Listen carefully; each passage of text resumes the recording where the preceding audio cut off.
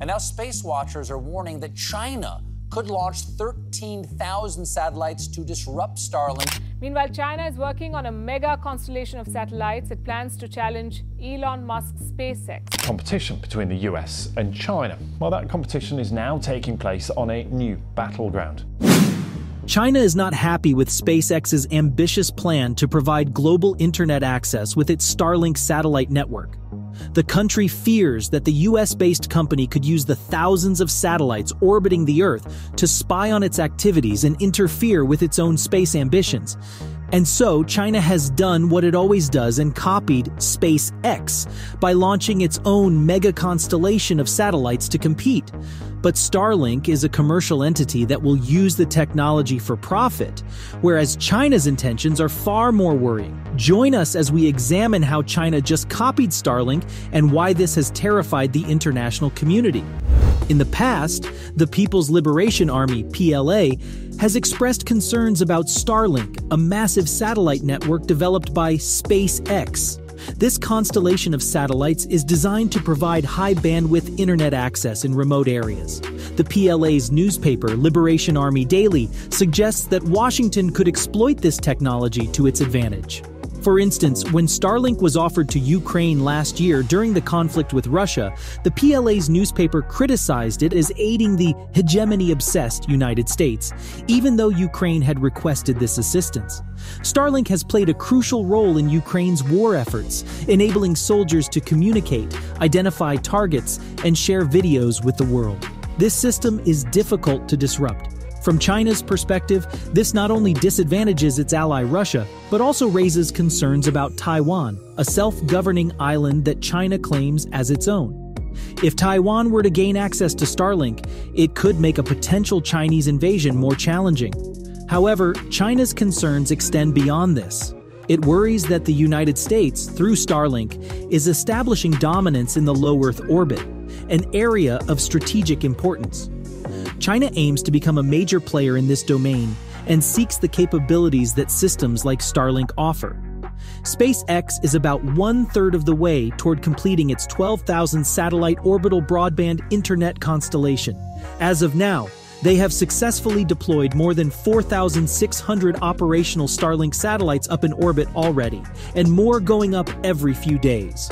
One noticeable shift in SpaceX's approach over the past several months is the change in the number of satellites launched per mission. Initially, SpaceX frequently launched batches containing 50 to 60 satellites at a time.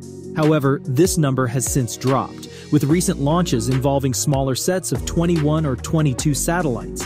While this shift might raise questions and look like a bad thing, it really isn't. Instead, it is a deliberate transition to the next generation of Starlink satellites, aptly referred to as Gen 2 Starlinks. These Gen 2 satellites are a significant upgrade over their predecessors, the Gen 1 Starlinks. So what sets Gen 2 Starlinks apart?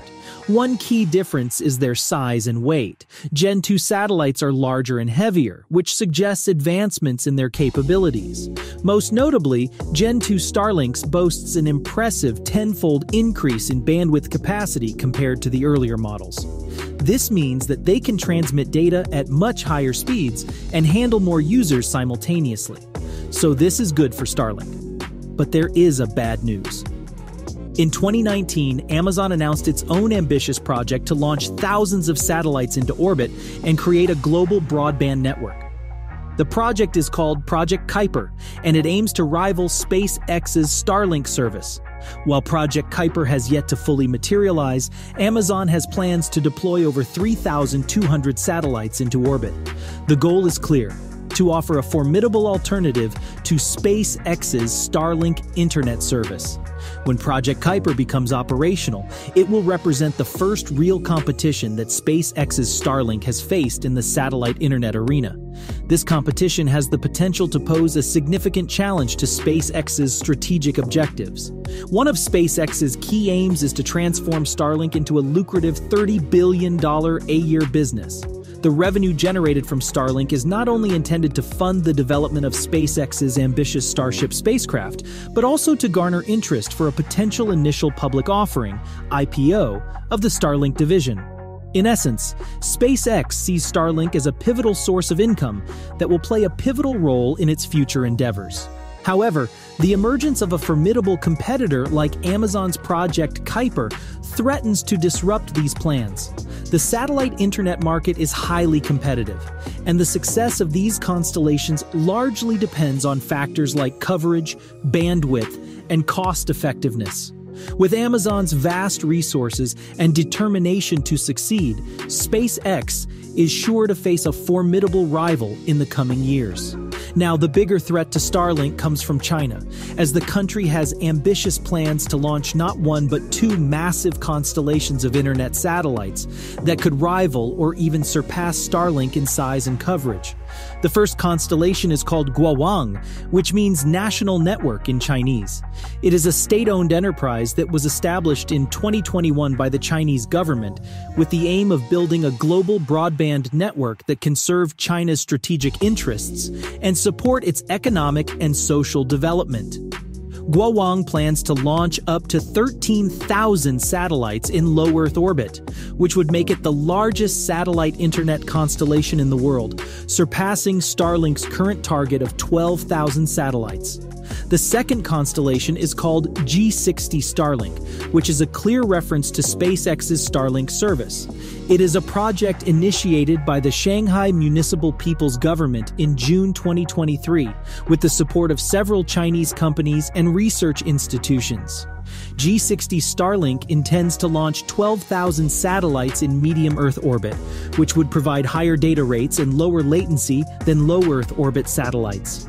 G60 Starlink also aims to offer satellite internet services to customers around the world, especially in developing countries and regions.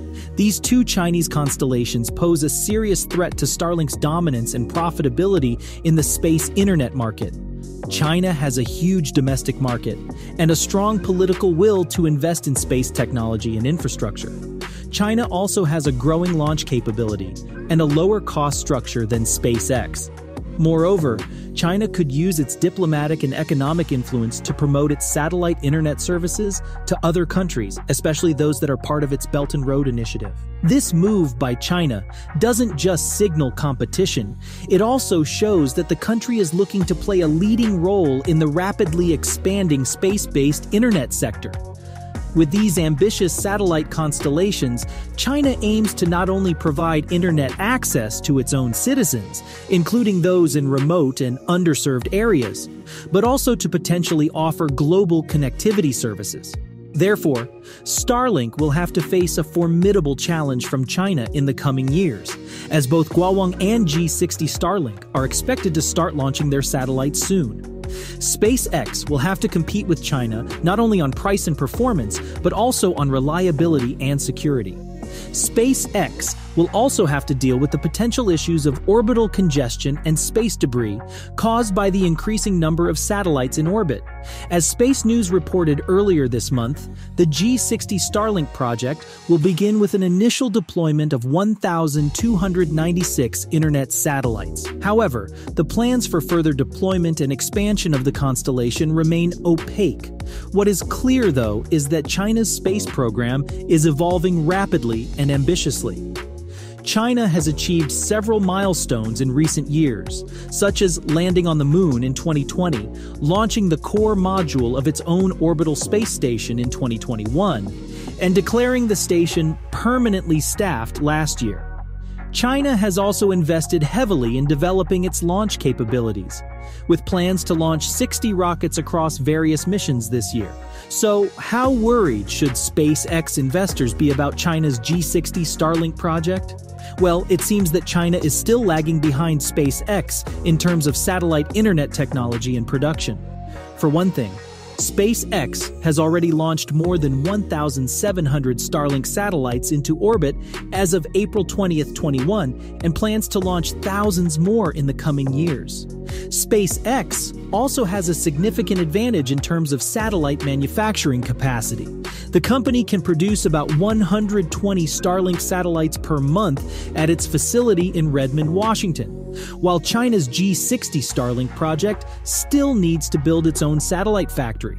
According to CASIC, the initial plan is to have an annual production capacity of only 300 satellites per year, which means it would take more than 40 years to build the initial constellation of 1,296 satellites. Guowang, however, seems a bit farther ahead, with plans to send up 30 satellites this year, as reported in March.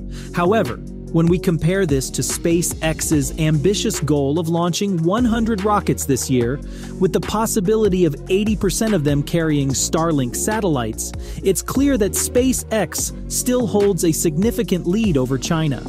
In fact, 8 out of SpaceX's last 10 launches were dedicated to Starlink missions. But despite SpaceX's current advantage, Elon Musk shouldn't become too relaxed. Here's why. If China is genuinely determined to catch up with Starlink, they'll need to emulate SpaceX's rapid launch frequency. Achieving this means building more rockets and increasing global launch capacity. This, in turn, could drive down launch prices worldwide. While this might be a bigger concern for higher cost launch providers like United Launch Alliance and Arianespace, SpaceX won't be immune to the impact. This situation poses two challenges for SpaceX to consider making it something they should be mindful of moving forward. What do you think about this? Let us know down in the comments section.